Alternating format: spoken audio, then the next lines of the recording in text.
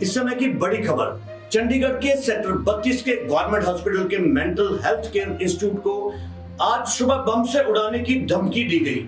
यह धमकी ईमेल के ज़रिए दी गई। इसके बाद इंस्टीट्यूट परिसर और स्टाफ में जो है, वो बुरी तरह से हड़कंप मच गया और इसके बाद bomb squad, dog squad, operation cell या क्राइम ब्रांच जो है उसकी सारी यूनिटें वहाँ पहुँच गई और उस एरिया को खाली करवाकर सर्च ऑपरेशन शुरू किया गया। हालाँकि बम होने की जो सूचना है, उसको अफवाह माना जा रहा है। दहशत बनाने के लिए किसी शरारती तत्व की शरारत या साजिश भी हो सकती है, लेकिन पुलिस जो है, इसको गंभीरता से लेकर छानबीन कर रही है।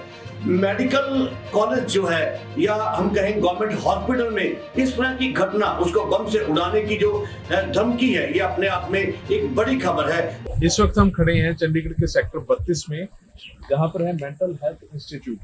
यहाँ तकरीबन साढ़े नौ बजे यहाँ की डायरेक्टर अपराजिता लांबा को एक धमकी भरा ईमेल आता है कि आपके इंस्टीट्यूट को बम से उड़ा दिया जाएगा, बम यहाँ पे अंदर इम्प्लांट कर दिया गया है।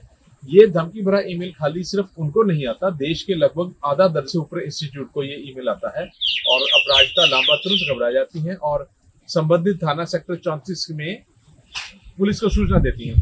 पुलिस तुरंत हरकत में आ जाती है और लगभग डेढ़ सौ बंदों का अमला जो है पुलिस पार्टी का वो पहुँच जाता है यहाँ पर, जिसमें बम स्क्वाड, डॉग स्क्वाड और फायर ब्रिगेड, उसके साथ साथ ही पुलिस का वज्रवाहन भी पहुँचता है।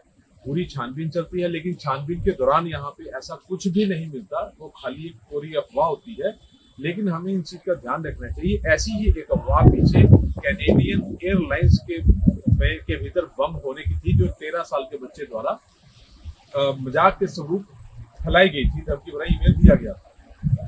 यहाँ जो मेल आई है, उसके बारे में अब छानबीन चल रही है कि किस आईपी एड्रेस से वो मेल आई है। तो उसके बारे में हम संबंधित अधिकारियों से जानकर आपको सूचित करवाएँगे। मैं खुशविंदर सिंह कैमरा में लकेश के साथ हर प्रकाश टीवी के लिए।